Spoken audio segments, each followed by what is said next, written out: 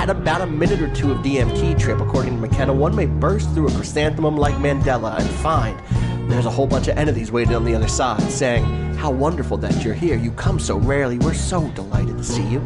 They're like jeweled, self dribbling basketballs, and there are so many of them, and they come pounding towards you, and they will stop in front of you and vibrate. But when they do a very disconcerting thing, which is they jump into your body and then they jump back out again, and the whole thing is going on in a high speed mode where you are being presented with thousands of details per second, and you cannot get a hold of them.